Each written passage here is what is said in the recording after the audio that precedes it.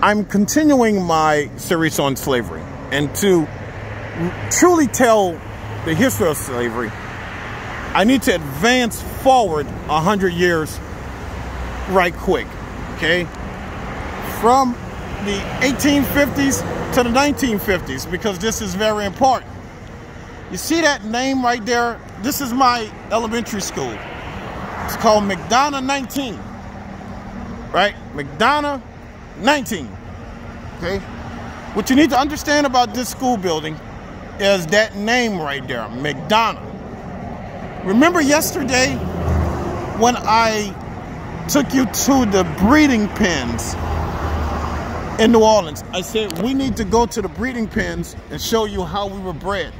I said the name of that is called McDonoghville. What? This is the same guy from the breeding pens. He was a very vicious slave owner named John McDonogh. I went to John McDonogh 19 Elementary. That's my first grade classroom. Right there. Right there. Let me back up. My first grade class. Right there. See right there? That's my first grade class. Got suspended for calling a teacher a bitch and had to go to another school. True story. The other school that's down the street is called Thomas Alva Edison. And yes, I called the white teacher a bitch. but anyway, I digress. We had white teachers in this school who could not um, leave with white flight. I got to tell you this story and then I'll resume slavery.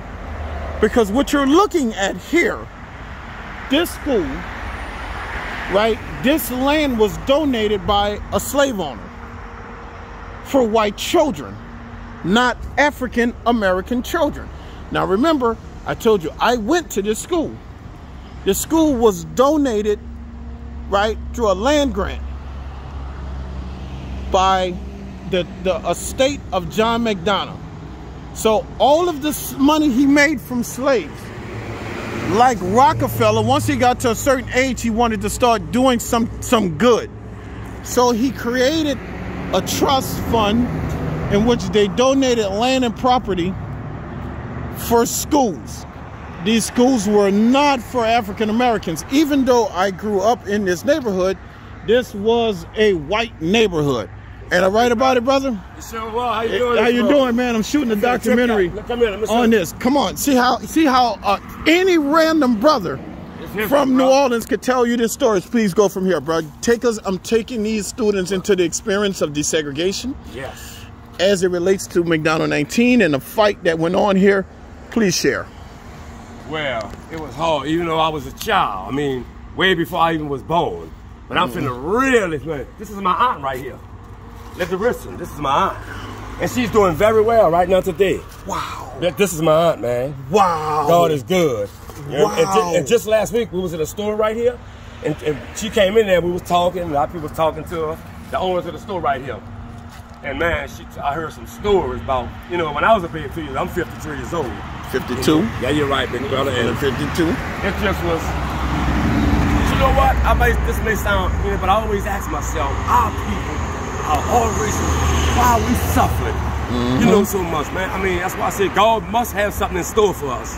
You know, we good people, we loving people, we we godly people. I just don't never understood. I asked him What was it? What was it like in the night? Well, your experience my experience. in the educational system, because me and you're the same age. I'm 50, you're 52. Yes, We was we was coming in elementary at the same age. Right. You grew up back in town or on this side? on this side. All right, so you hit this area when white flight was happening. When the white people leaving out, They was leaving out. we're moving Pretty much, in. We was moving in. Share much. what that was like for you. It was like, well, I was like, what? Let me see. When we was on Lamash, right here, two blocks. We was living on Lamash, and I was like, son, we couldn't ride the buses, with the school buses.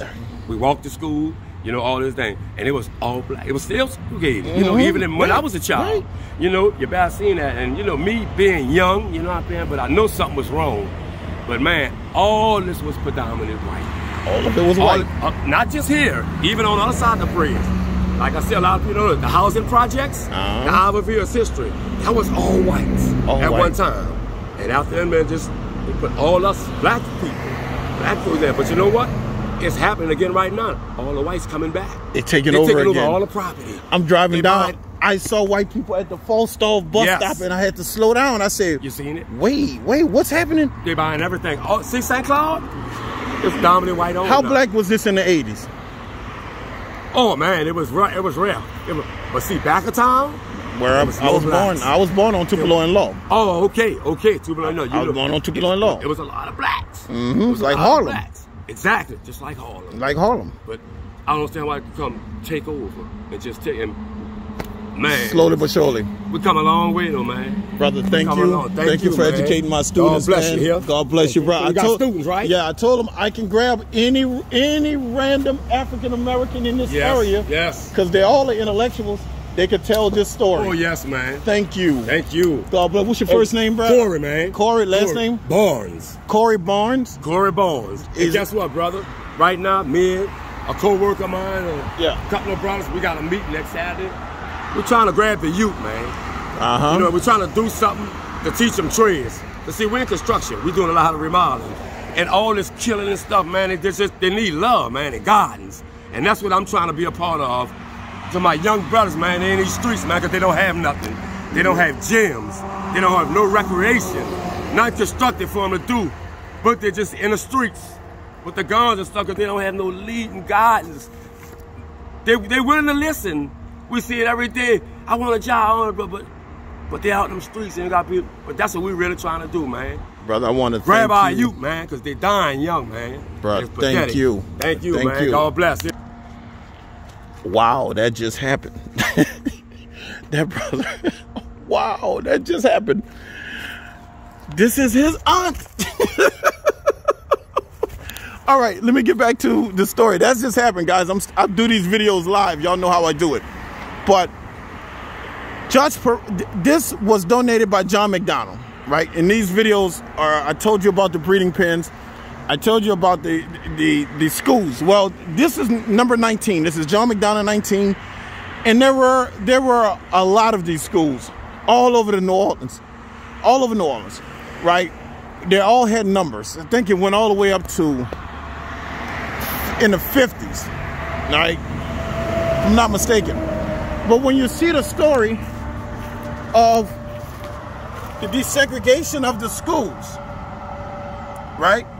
And the first child, right? She's still alive. She's still with us. He just told you she's she's still with us.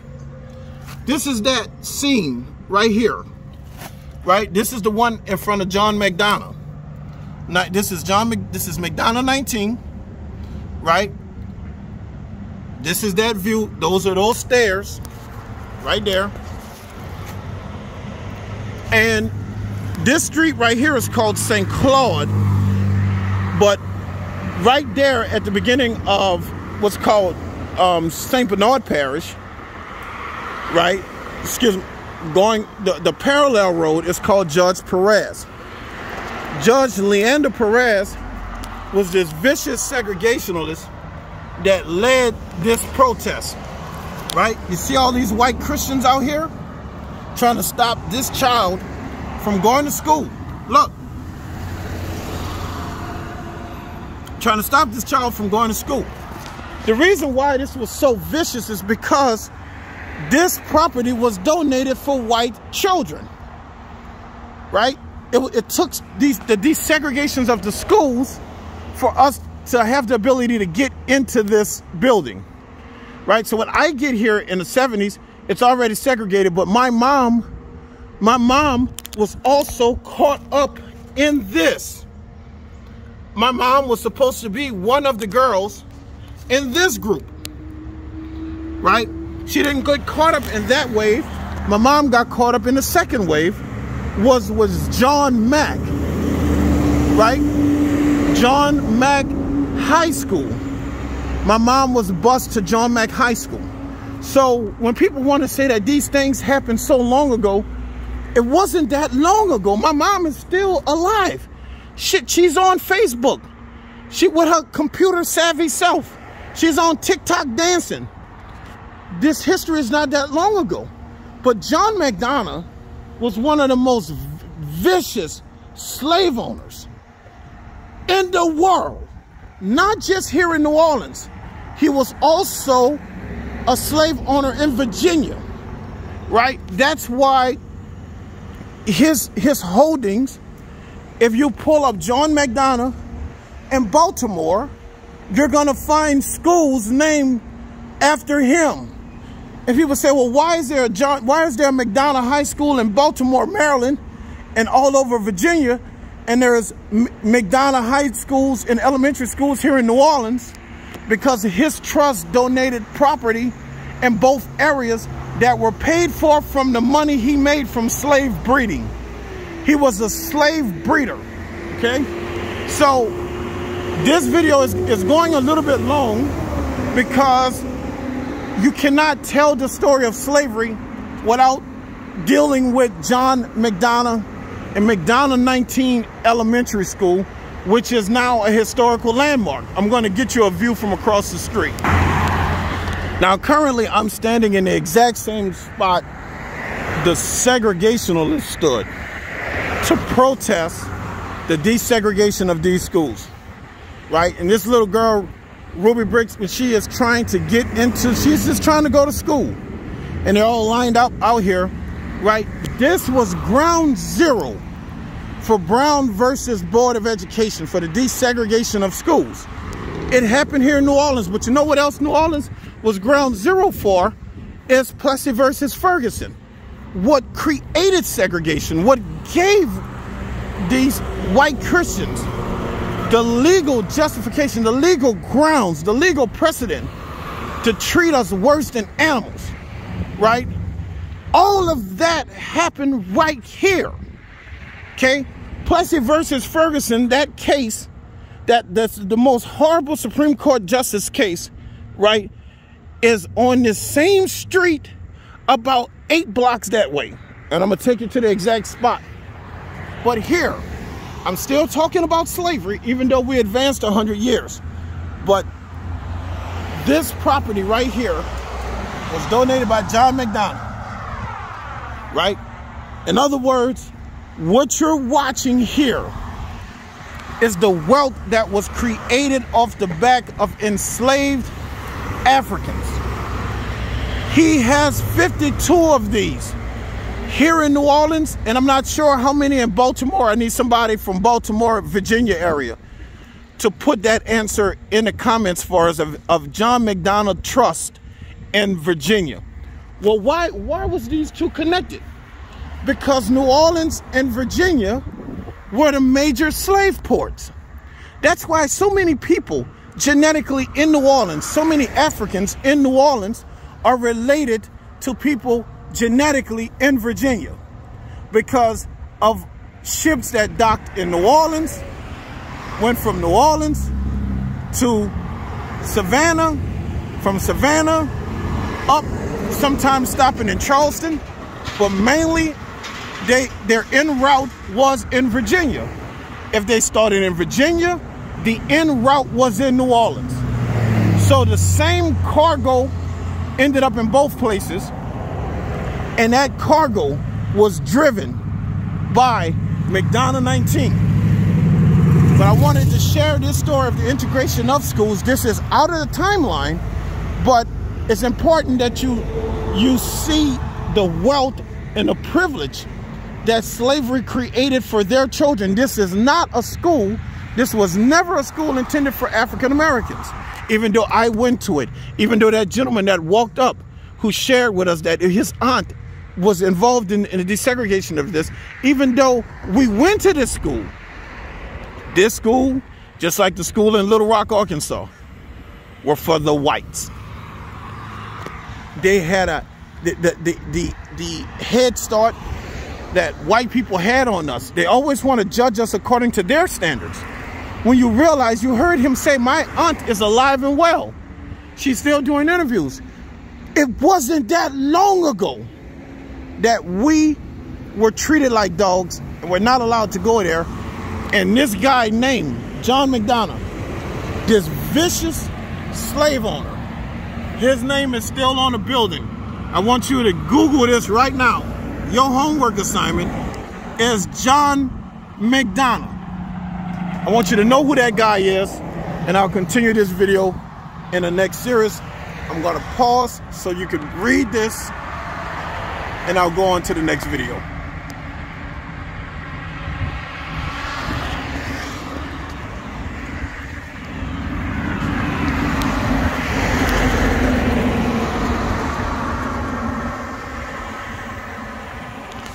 And there's something else I want to say real quick before I go. When I all of these schools in New Orleans used to do something called Founders Day, right?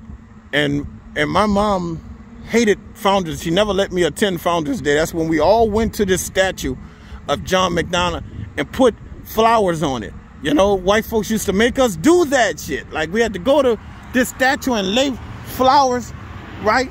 Because a part of his trust, he said he just wanted to be remembered right? I'm donating all of this property and all of this land, right? For he also donated the property for this one, right? This is where the case went down. He said, I'm donating all of this property and all of this land, and I just want you guys to remember me by coming to a monument of me and placing some flowers. What they never told the children at that monument is that he was a slave breeder. This is why we cannot allow white people to teach history to our children. If we allow them to do that, we will, they, we, all of us will grow up thinking that slavery was a picnic, thinking that this, shit was a part-time job. Slavery, chattel slavery was hell. The Bible describes hell, right? But the people who wrote the Bible never visited hell. Africans, Africans can tell you firsthand accounts. Great great grandmothers can tell you firsthand account of what hell is because we have been in it. We've lived in it. And it wasn't no devil with the horns and the pitchforks. It was white Christians. That's the devil. And that's the hell that we survived.